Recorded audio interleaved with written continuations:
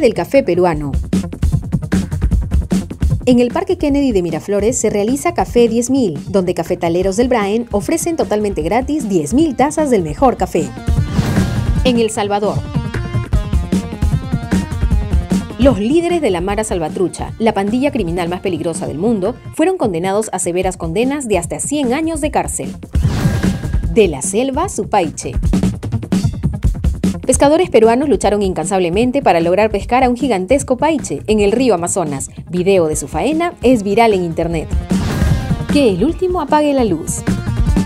Para tener en cuenta, aprovechando la celebración por el Día de Santa Rosa de Lima, el jueves 30 y viernes 31 de agosto son declarados como días no laborables. Sale el campeón, sale el campeón. Sporting Cristal se coronó campeón del torneo Apertura 2018. De esta manera, acceden a la final nacional de manera directa.